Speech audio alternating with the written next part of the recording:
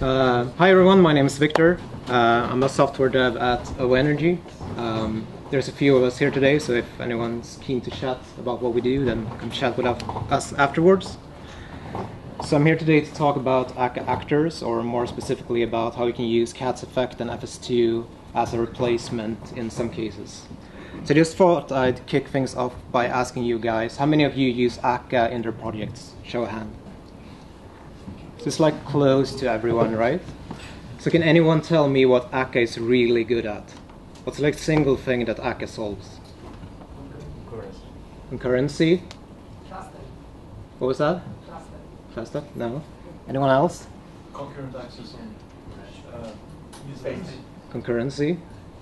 Mutable state. Mutable state? No, but you, those are all challenges which Akka solves, or you can use Akka to solve them. But the, the real key thing that Akka solves is distributed computations, right? So how many of you who use Akka use Akka for distributed computations? So we have like one hand, two hands, which is not bad, right? But if you think about it, if Akka is really about uh, doing distributed computation, then we pay a really high cost for supporting that. You know how actors are like partial functions from any to unit. You know that we use go-to mutability in actors, although there are some alternatives. And you know you can't instantiate actors normally. You have to use this like props thing. And the recommended way to use props that uses runtime reflection. And you can't call them like normal functions. You know, you have to define a protocol with like products and co-products, and you use this like question mark and exclamation mark syntax, like ask and tell syntax. And it relies on Scala Future, which is not pure. Um, and you know, you have to learn about supervision strategies, um, for better or worse. And you have actor life cycles, actor systems, and a lot of things to learn, right? But it, the key thing is, if we're not doing distributed computations, can we solve the challenges we're facing in a way that has less overhead, better type safety, more immutability and purity? And I think the answer is yes, and that's why I'm here today to talk to you about an alternative to Akka in case of non-distributed computations. Uh, you can find me on GitHub or Twitter. I have literally no more slides, so I'm just going to live code the rest. Um, so I'm going to switch over.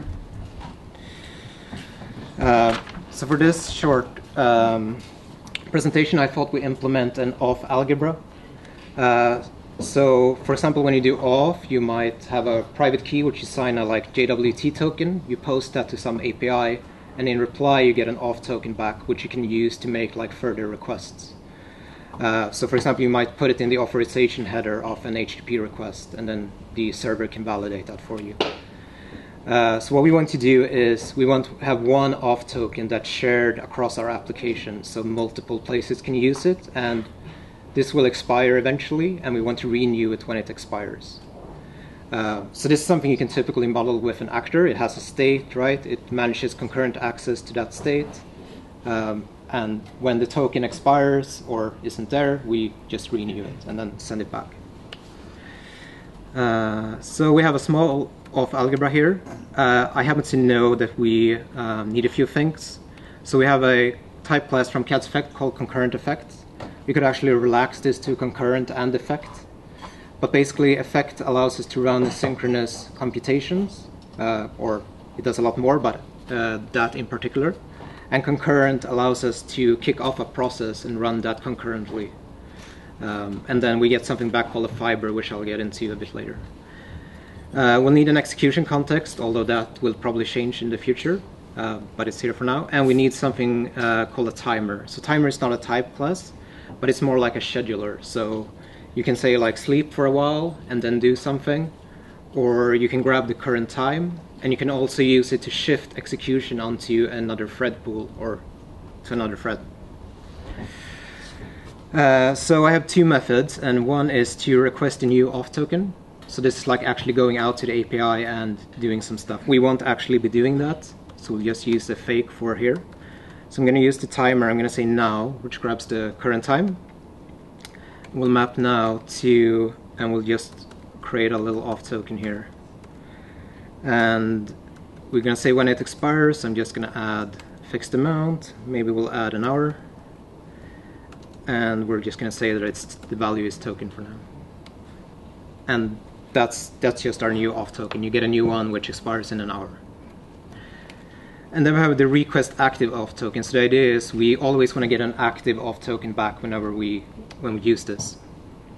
You can see that it seems a bit strange. It has two F's here. So we have F of F of auth token. And the first F is usually what we call the creation effect. So you have some state that you want to uh, create. So you evaluate the first effect, and then you get another thing back which which grabs the auth token. Well, we'll see how it looks like. So the first thing we're going to do is we need uh, some state for the actor, right? So a concurrency primitive you can use for that is called ref. If you're familiar with Haskell, you might know IORef. So it's basically a atomic reference or a volatile variable, but it's enclosed in an IO layer, so it's pure. Uh, so this is from FS2, so we'll create a ref, and what we say is ref off, and we'll say rf, and our state is going to be an option of auth token. So when we start up, we're not going to have any auth token yet, so it'll just be none. Um, so ref is has actually been merged into Cats effect.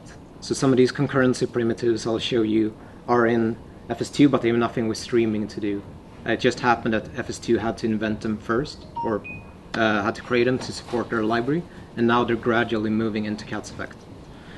Uh, so it will change, but it's, the ideas are exactly the same. So then if we think about what an actor is, it basically takes um, incoming requests one at a time and does something with them, right? So we'll need a way to queue up requests. And you can use a queue for that, right? So let's create a queue. And by default, in Akka you have an unbounded queue, so we can create an unbounded queue from FS2. And then what's going to be in the queue? Well, we know that when we pick up a request, we're going to do something and then we'll reply back with the active auth token. So for that we can use a promise. So promise says we can reply with something. And in this case we'll just reply with an auth token, which will be the active one. So now we have everything the actor needs. Uh, so we should create the actor, right? I happen to know that this will return something called a fiber. We'll get into that in a second. So the actor, what it's going to do is it's going to pull something off the queue, the first message. So we do that with dequeue, qdq1. Uh, so we dequeue one element, and then we're going to grab the existing auth token from our state, from our ref. So existing auth token, grab that from the ref. And then we have to check if the auth token is active, if it's there, right? So we'll need a current time. So we'll grab now from uh, timer now. And then we're going to see what is the auth token. So this is the thing we're going to return with, right? So we'll grab the existing auth token. And we'll check, is it active? And I just pass in now. So it's active basically checks is now before the expiry time of the auth token. And if that's there, we can just wrap that in an F. And if it's not, we're, we're to have to request a new one. So we'll do a new for, and we'll say the new auth token we can get by request new auth token. And once we got the new auth token, we'll have to save it in our state, right? Before we reply back. So we can do that synchronously. You say ref set sync, and it's some new auth token. And finally we yield the new auth token, which is what we're going to return. So that's the auth token we're going to return, and now we have a promise which we need to complete, so we need to send this auth token back. And what we do is we say promise complete with the auth token. And our actor itself is not going to return anything, right? Because that's done by this uh, logic we just wrote. And then we're going to do this forever. So just keep doing the same thing over and over forever. And then I'm going to say start. So that kicks off this as a concurrent thing, which runs on the side. And what I get back is a fiber. So what a fiber uh, allows you to do is cooperative multitasking. So it has two methods. One is called join and one is called cancel. So join basically joins back whatever was running concurrently with you, whatever you is. And cancel, yeah, as the name says, tries to cancel it. So now we have our actor running in the background, but we still need a way to ask something of this actor. So, so we say active auth token, and what we're going to do is we're going to have to create a promise. So promise. Oh, sorry. yeah. Better. Um, so promise that we'll get an auth token back. And uh, we're gonna have to put that on a queue, right? Because the actor is gonna process things off the queue. So we'll say queue offer one, and we'll put the promise there. And now, the auth token is, um, well, we can say just promise get, right? So I'm just going to wait asynchronously for the promise to complete. And what are we going to yield? We're going to yield the auth token when we're done. And then we have the ou- outer for expression, which is going to return the how we, we first how we create the actor and then how we request an active auth token. So it, it yields the active auth token. And hopefully that seems somewhat okay. So IntelliJ kind of gives us a hint here, right? That fiber is unused, the squiggly lines, and that's actually a warning sign here.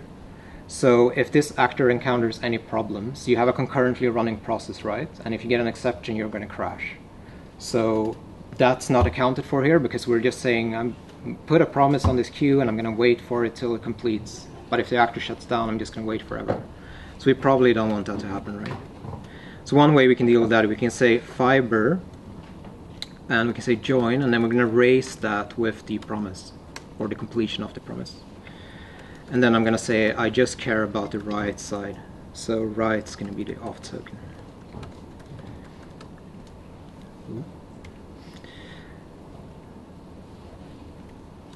Okay? Yeah. And um, basically what that does if the if the actor shuts down for any reason the exception will be propagated um, to the color. You could deal with this in different ways, but that's one way to deal with it. Um, that's basically the actor. Um, the way we use this, maybe we should see that it compiles. That's always a good idea. So we run it, and you can see we got an auth token back. Not sure you can see it, but it prints auth token. So the way you use this is you have your auth algebra, you say request active auth token, and you get back something which is an F of auth token. I use IO here, but you could use any effect type which integrates with cat, Cats Effect type classes. So this is something you would do at like a top level, somewhere top level in your application, and then you could pass it around. And whenever you need it, you just pull it out of the request active auth token, and then you can use it. Yeah. So here we just print the active auth token as a result, and then we finish. Uh, yes, so uh, we can generalize this a bit. So this is like a general actor, and we can um, refactor it into a pattern. Just thought I'd show you how that looks like.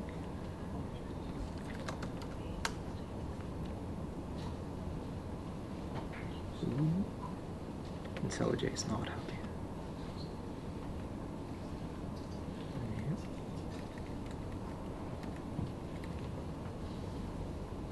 Come on. Ah, there we go. Okay. IntelliJ problems. Um, so we can generalize what I just shown you into a pattern. So an actor, an actor is for some f, for some state s, and some uh, output, and it has an initial state s, whatever that is, and it has a receive method, which is a ref to some output wrapped in f. Um, so this is in the case where you don't need to pass any input. You just say like I want a thing, and you don't need to supply an input. And the code is basically exactly what I showed you before, except we call this receive function instead of the uh, active auth token implementation. If you want input instead, um, you can do that as well. It's almost as uh, easy as doing after. So now we have an additional type param, which is i. for input. We still have an initial state, and our receive function is now some input plus the current state, and we're going to generate an output that we can reply with. Uh, and it, the code looks pretty much identical to what you saw before. So it's, it's quite easy to generalize. Uh, and if we look at how the auth algebra now looks like, uh, we just call actor. We the initial state is none, just like before. Our receive method has a ref, and then we just use that to do the exact same steps that I showed you earlier. Um, so it's quite easy to refactor. Um, that's pretty much what I had. I can show you. So one thing that's quite good to know about is safe app, or what's going to be IO app in Cats Effect. So you can see that this method just returns an IO of something, and then at some point we're just going to evaluate that. So the end of the world is basically in this run method, it returns an IO, and then we're just going to evaluate that at the very end. So you can describe your uh, app in like a pure functional way. So safe app, which I've defined here, is just um, a run method which we implement, and the main method is just running that with the arguments and calling unsafe runsync at the very end. So this is going to be in Cats Effect probably one release, or RC2, which is scheduled for 1st of June. And yeah, I think that was pretty much what I had.